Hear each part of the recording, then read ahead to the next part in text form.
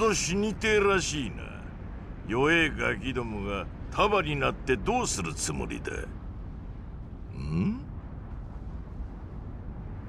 そうかお前あの大名の家臣か。いかにも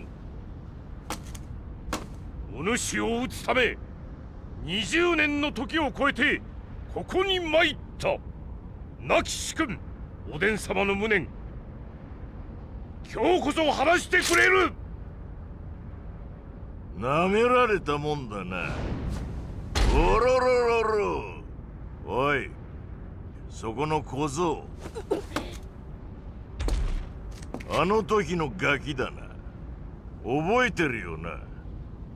俺との力の差もわきまえず大勢の家臣とお前の母を死なせた父のことをよ。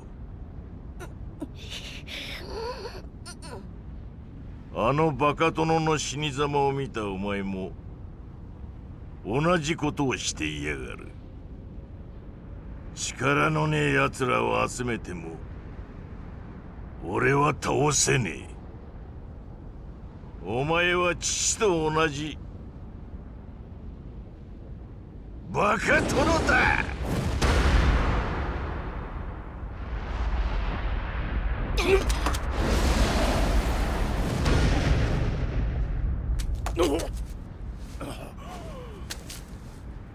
てめえら覚悟はできてんだろうな。全員まとめてあのバカ殿のところへ送ってやる。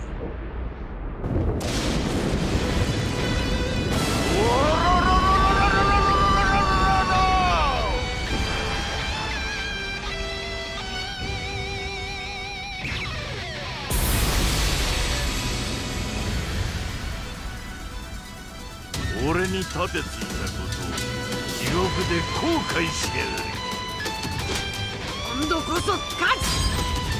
俺たちが相手だ。